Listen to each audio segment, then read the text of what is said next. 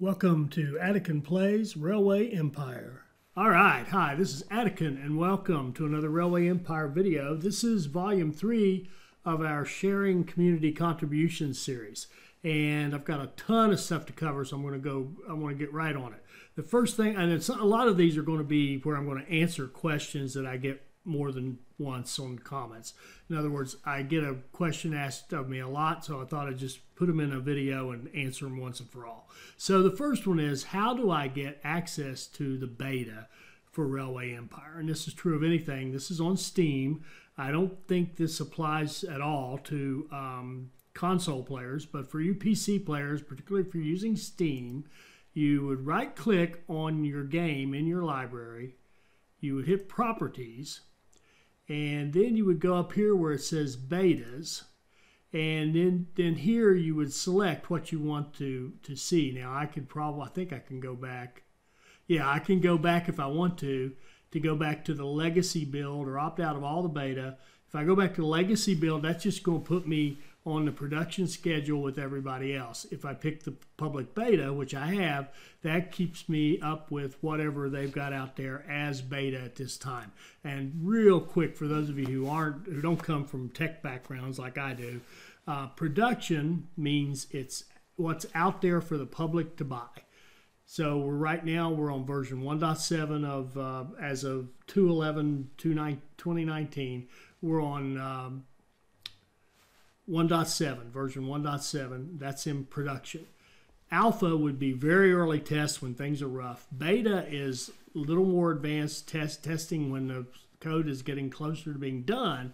And public beta is when it's really close to done and they're actually turning it out to the public to play the game and do the testing for them. It's a great way for the developers to save money, get a lot of great feedback, and allow us to see the games earlier. So that's how you would get on the public beta branch. And what will happen is if you do that, if you go through properties and in beta and then kick collect that, then it's going to um, going to load or update your software with the public uh, beta version. And then whatever is the latest public beta that's what you will be running all the time. All right so there's number one. Okay number two. A lot of you ask me how do i get those contour lines. And, and by contour lines, I mean those lines that show up on your map or on your screen when you're doing track building, for example, and you're laying track and you see these lines, and these lines run, if they're real close together, that means the elevation is changing very quickly. If they're far apart, that means the elevation is changing gradually. It's very useful for telling where the mountains are, what you need to go around, all that good stuff. So the way to get contour lines on your um, machine. Again, this is PC, but I'm sure there's a similar thing for you console users.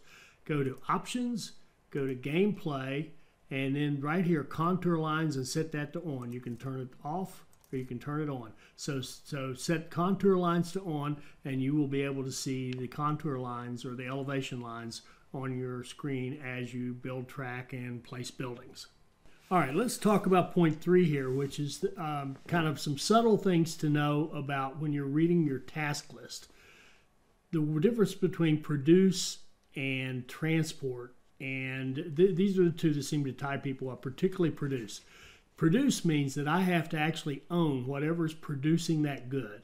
I have to have it um, upgraded or have to own multiple of them so that I have them up to the required rate of production, and I have to have trains at each of those producers readily available to load those produced goods in order to get them to count. Uh, so, for example, the best example I can think of that is on the black gold scenario. There's a task to uh, do the, literally this produce 20 loads of oil per week, I think it is.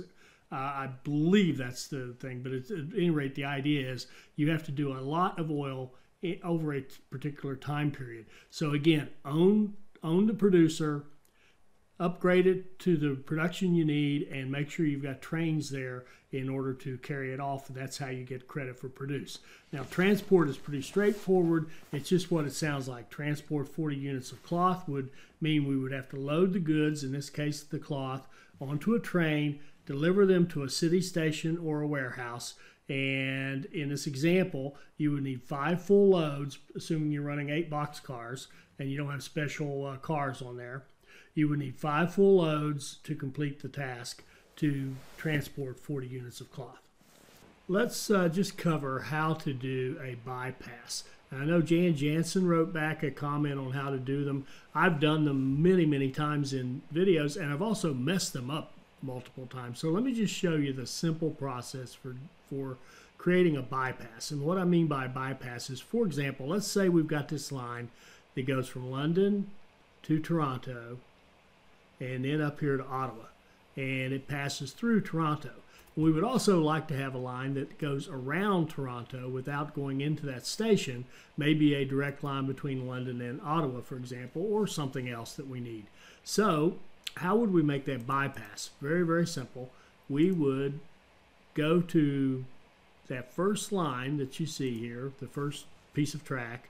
We would drag a line over to the other side wherever we want to join in, like so.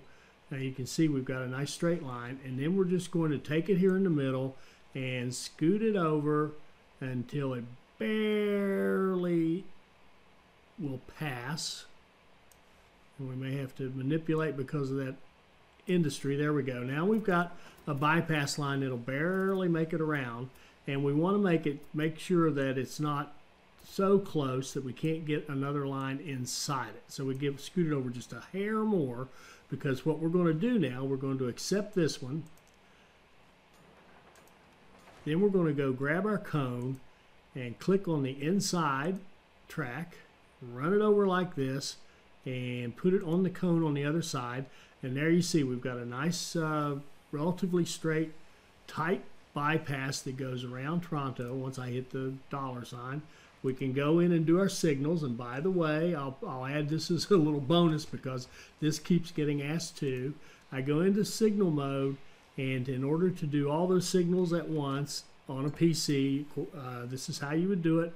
I hover over it. It automatically is going in the right direction. I hit Control, Shift, and left click, and it set all my signals. Then I put it on the other side.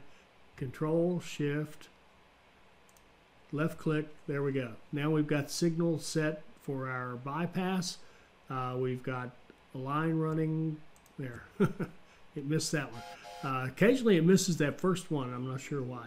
So now we've got our signal set. You'll notice they're set right down to the end on both sides, just the way you'd want them. We've got a nice little bypass. So that's how you would build a bypass. And by the way, if I now set up a line between, well, let's just do it, between London and Ottawa, for example. And it doesn't matter what kind of line it is or what we're doing. Let's just run a train, get it going. And now if we if we once this thing starts running, well it doesn't matter. We'll look at it we'll look at its path. Now see see what it did? It automatically took the bypass and didn't go into that station because that that's a feature, a program programming feature uh, that uh, they've added. Now, let us say that for some reason, well, no, I'm going. To, I'll give you another example in a minute about uh, how to set waypoints. We're going to cover waypoints when you want to force a line to go a certain way. That'll be the next thing we cover. But that's how you build a bypass around a city or around a station out in the country or or whatever you need to bypass. All right, how many of you have had this problem where you're using our new super stations you know the uh, like a large station with the automated signaling and you've got another one on the other end of your line maybe it's a warehouse or whatever and so you've got your four parallel tracks and then you start watching them run you got 10 trains running they're all using these same two the, the top two tracks. They're all running on these two tracks. Nobody's over here. Well what's going on well, what's going on is it's coming out of the station, picking the picking the shortest route uh, to go on, and it just keeps optimizing and keeps saying, okay, it's these two tracks, it's these two tracks, and you're and you're getting frustrated, saying, no, no, I want it to either share or I want to. What's more likely, I want two of these tracks to be my freight line and two more to be my passenger line. So how would we make that happen? Well, that's where waypoints come in. So we're going to talk about this particular problem and how to set waypoints. So let's say I set a line between Grand Rapids and Toledo, and I want it to be a passenger and mail only line because I want to I want to get express trains. I want them to go as fast as they can. I don't want the freight slower freight trains to slow them down. So what what you would do in this case to make sure, let's say I wanted instead of running these two, notice how I picked these two over here.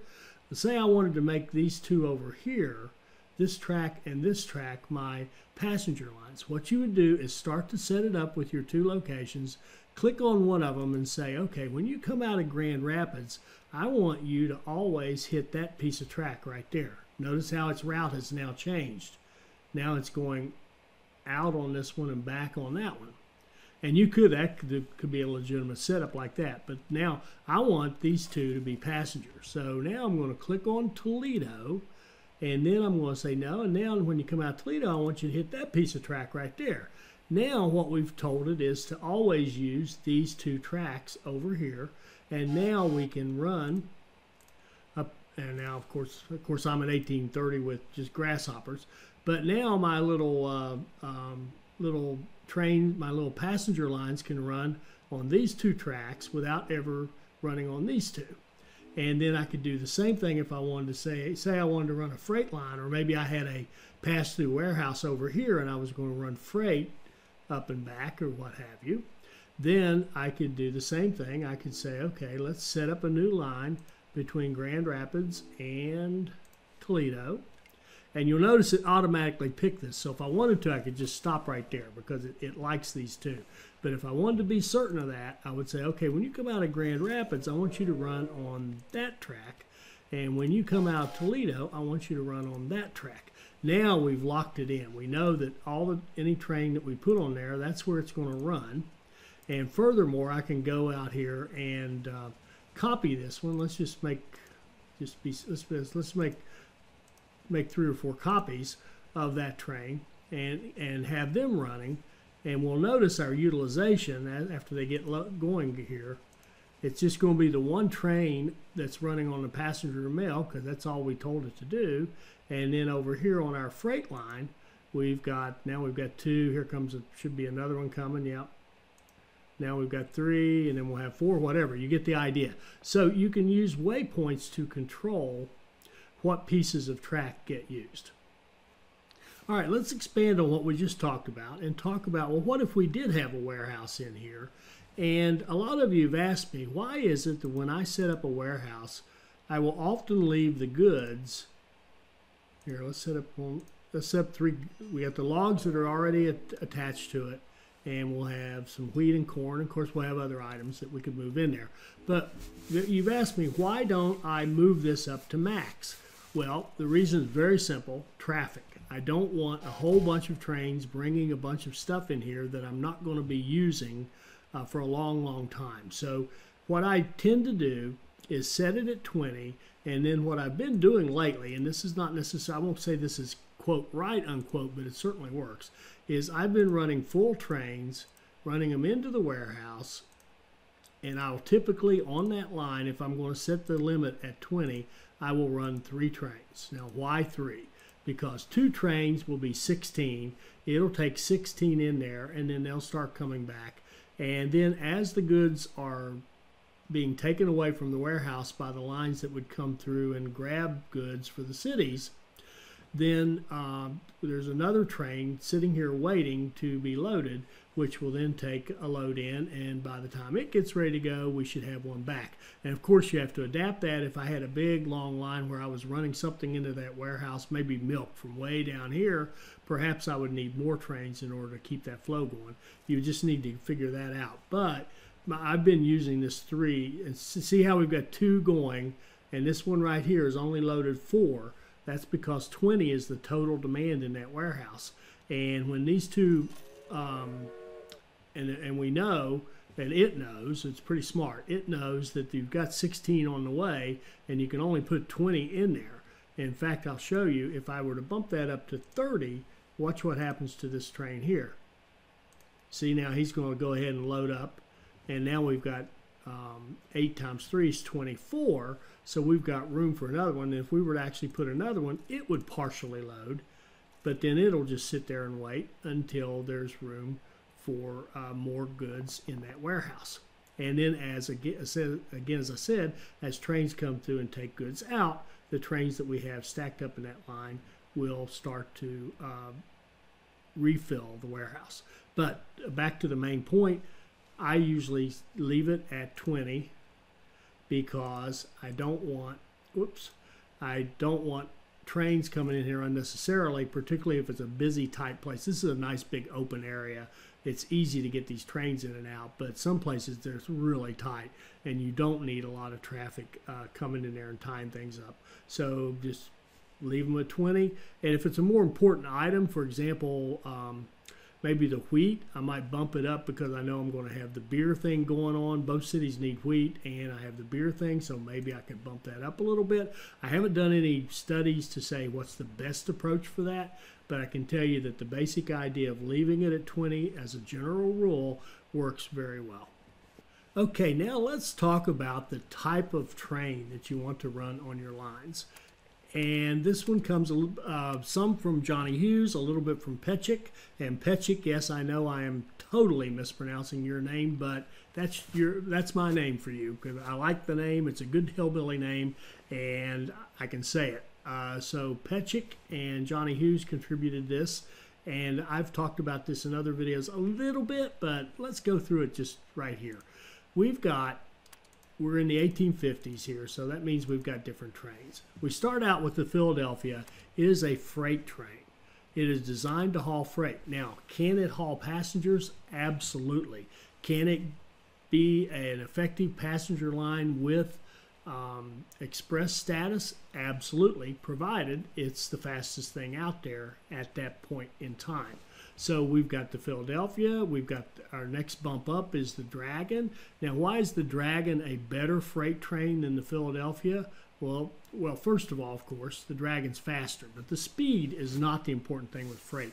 The really important thing is tractive power. Now, the acceleration and the maintenance requirements, consumption, all those things matter. But the two that I look at are the speed and the tractive power, and particularly for freight, the tractive power, because if you have a situation like uh, the gold or not gold, yeah, gold rush, the one out there in Sa- Sacramento and San Francisco and Carson City, the the Dragon will do much better on that those hilly um, track you have to lay than the one you start out with, which is the Philadelphia. Although the Philadelphia is a great little train, 56% tractive. The Dragon is 70, so it's just be a little faster and better power. It's going to handle the heavy load of freight. Now, you also have trains that are called express. Their suitability is called express. Now, this Rensselaer happens to be the first one that comes along. In fact, actually, I think it's the first one, yes, that comes along in in our whole set. Um, the Rensselaer comes along as an express train, and it has a higher speed. It has a higher passenger rating. Passengers like it, which is going to help you get more uh, passengers, and it's meant to be an express train. So this one would be ideal for passenger and mail lines. It would be very poor, relatively poor, if you tried to haul freight with it. You could, but that tractive power uh, just wouldn't get it. It would it would struggle to um, get going when it had a heavy load. Then you look at here we go with an upgrade. The Rogers American is an upgrade of the express train, high traffic, high passenger rating, good speed for this uh, 1850s time period.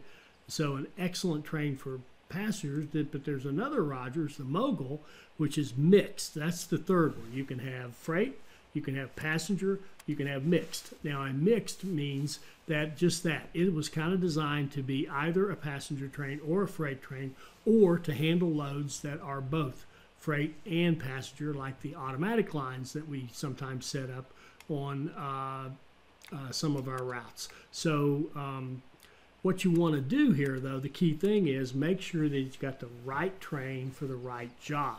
Because again, if I go back to say this Rensselaer and I try to run uh, freight across the across the mountains from Sacramento or well, yeah, Sacramento to Carson City, for example, going over those mountains, it is going to struggle. It's going to crawl.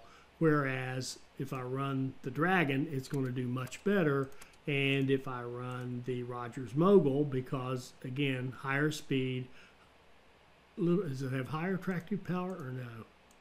Interesting. This this is a good case where the Dragon would actually be best if you had a really mountainous line, line L I N E, and the Rogers Mogul would be better because of the speed if you had it a little bit flatter land. So you could start looking at that and saying, okay, I want to run the Rogers Mogul uh, for that kind of case. So the point is get the right one. Now the other thing I want to talk about is how do you replace them because this is a something that we've been doing a lot here lately because of the idea of Petchika. There we go. Look at all those triangles. I, am in a. I need to replace all these trains. Well, I've got trains running. I've got trains running on um, passenger lines. I've got trains running and carrying freight. So right now, I think I'm at the point in this particular save where I'm running the Mogul and I'm running uh, the Rogers American. So all my passenger lines are express suitability and all my freight lines are mixed suitability. So here's the thing about the engine shed that I finally figured out. Okay, if I wanted to replace all my trains, so let's say I wanted to, to um, go in and replace all those mixed trains, I can go in here and say, whoops, yeah, yeah, replace trains, suitability, mixed, and what it's doing is saying I've got 82 trains out there that are the mixed, in this case, the Rogers Mogul. Do you want to replace them all with Rogers Mogul again? Sure. Then I could go to my Rogers American and say and replace all and say, okay, now I've got suitability of express. I've got express trains running. I've got 42 of them running. Replace all of those. Now, the other way you can do the replacement is let us say that we had all these, let's replace all of our trains with the Rogers American, which is an express train.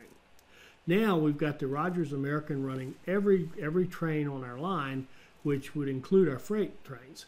But then we said, oh man, that's no good. We don't want that. We want this train, the Rogers Mogul, to to handle our freight. So then we could look at it not from the suitability point of view, but from the route properties and say, okay, go out there and get all the ones that are connected to rural businesses or freight only.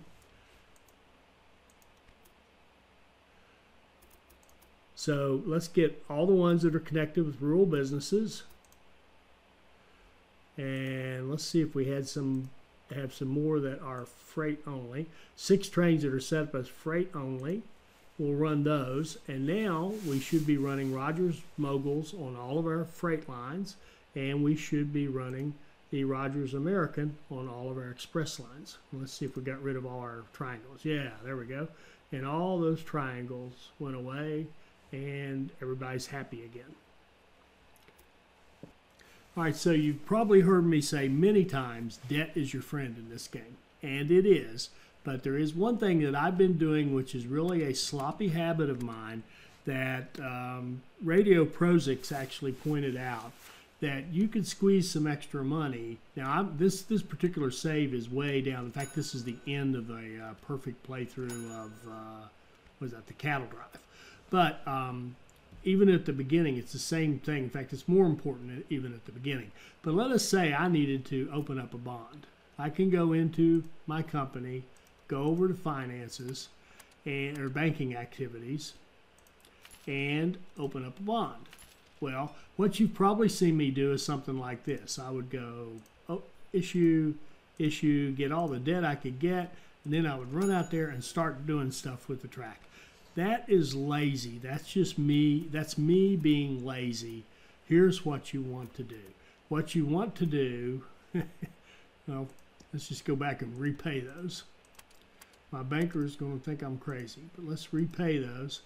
What you want to do, as Radio Prozix points out, is as soon as you need the money, you want to open one bond. Then you want to take the money from that bond and spend it and build up the company value so that when you come back in and open your next bond, it'll be based on a larger company value and the second bond will be larger.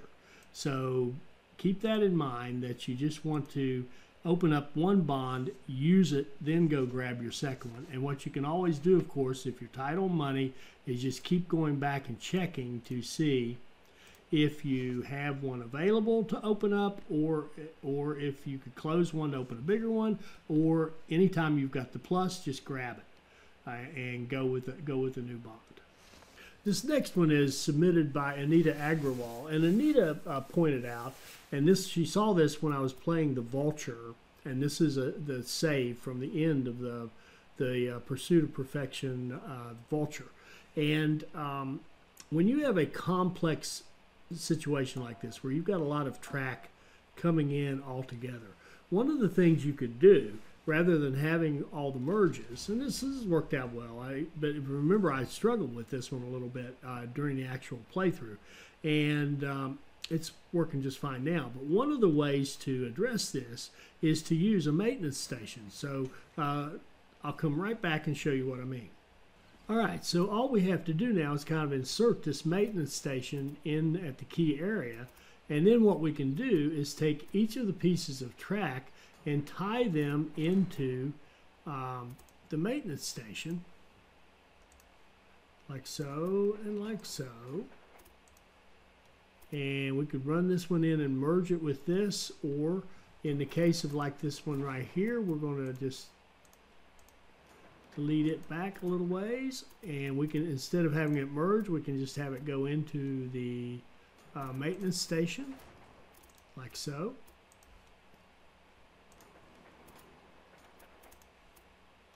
And like so. And I'll come back and show you the finished product. All right so here's here's what we ended up with. This maintenance station now supplies us with these nice junctions here and nice junctions here so that all these lines can come into it and just kind of get automatically routed back to wherever they need to go to complete their route. So it makes a really nice um, clean junction. Not to mention, if you wanted to, you could change these lines and add that station on there if you wanted them to be serviced uh, as part of part of their little trip. But see how it handles it handles very nicely all this traffic coming through here and keeps everything moving. And now I'm going to show you an alternative to that. All right, now here's the less expensive version of that, which also takes up less space. If you think about the maintenance station, let me just put one out here to show you what I mean. The maintenance station or any of the uh, automated signal um, stations, what they give you is this, the fancy junction, and they give you the, the, the signaling box, where where the guy sits and tells the trains where to go. But um, the real key is this fancy little piece of track right here, which allows the trains literally to go from any of these uh, places over here to any of these places here. Well, we can replicate that exact same thing by just simply putting a couple of diamonds and then then putting a diamond in the middle and then two more diamonds on the other end and look at that. These trains are running. Notice that one went all the way across. He came in through here and went all the way across down to that one. And so you can do the same thing. If you don't want to, if you want to, um, don't want to go to the trouble of building that yourself, just go ahead and put in a maintenance station. But it doesn't have to be a maintenance station, by the way. It could be a um, well, any four tracker would do nicely. In fact, the new trains, uh, a new um, warehouse. Where's the regular warehouse?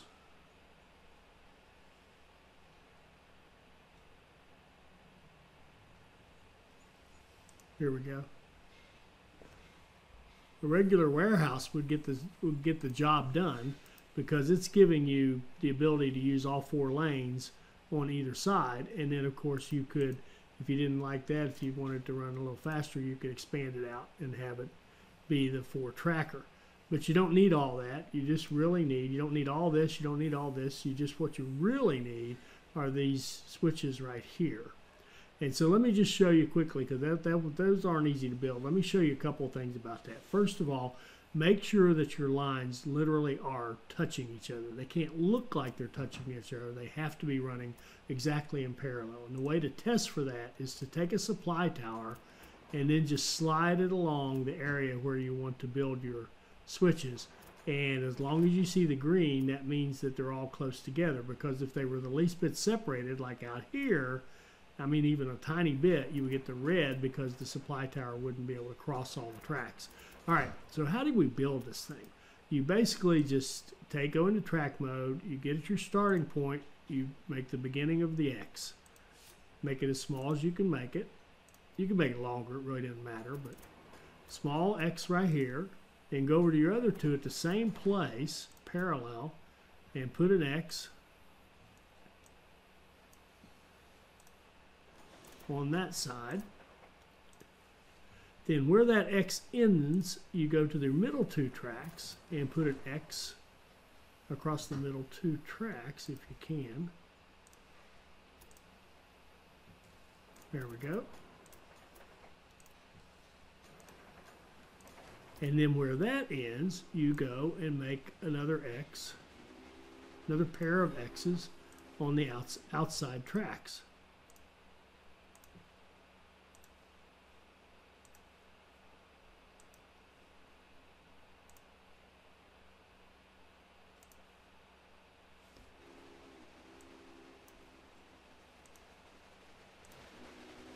like so. And there you have. Now we actually have two sets of those fancy, fancy uh, tracks. But notice how our, our lines, these line, this line didn't actually have to merge with this one, and this one, this one actually did. But this one came in clean to these two. This one came into these two. So really, anytime you've got uh, parallel sets of double tracks running like that, you can just use these fancy things. See that one going over? See this one uh, using this one to go over and come into there. And notice they're running just great. And you could run a fair amount of traffic through here. And we've got overkill. We've got two sets of them. But uh, um, at any rate, that's a good way to do a complex merge. Either either put in a maintenance station or a warehouse or whatever you like. Uh, something you can build out in the middle of nowhere, which is basically just that, a maintenance station or a warehouse or do your or just take take this piece of it and duplicate it as best you can on the track. All right, so that wraps up volume three of sharing community contributions. I hope you've enjoyed it and I hope you've uh, found something useful in there. And I really want to say thanks to everyone who contributed and thanks to all of you for the tremendous support for the channel and for all the contributions you make to help all of us become better players. Now, I want to close with just kind of a, a question for you. I need another game. Uh, I, you know, there's only so much Railway Empire you can play in your life, and, and I've got so many hours of videos out there. Um, I really feel like the game's been covered to death. There are some other things I could do with Railway Empire. I've got some ideas for some other things. Uh, some of you have asked for quarterly profit. I could go through that and how to understand the financial statements. Uh, there, there's still some open issues in our minds about express lines and how they're they're one. There, there's a couple. There's some more good stuff that I haven't really finished all the community contributions. There's probably one more video worth still out there in the comments that I haven't uh, even put on uh, video yet. Uh, but having said all that, I just personally need another game. In fact, the reason there's been about a two week uh, delay between this video and the one I did prior is I, I just quit. I, I, said I can't do this anymore. I, have been playing, actually, I've been playing Tropico 3, which is absolutely one of my favorite games. But it's a bit dated. I don't know if anybody wants to see videos on it, but it's, it's pretty awesome. I love that game. But um, having said all that, I really need another game. Could you help me out? Let me know what you think would be a, a good fit as something you would like to see on the channel that you would enjoy seeing. So, um, again, thanks for all your help, all your contributions, and I hope this one was a good one for you. I hope you enjoyed this. I hope it'll help you become a better player, and I hope you'll join us for our next Railway Empire video. Thank you.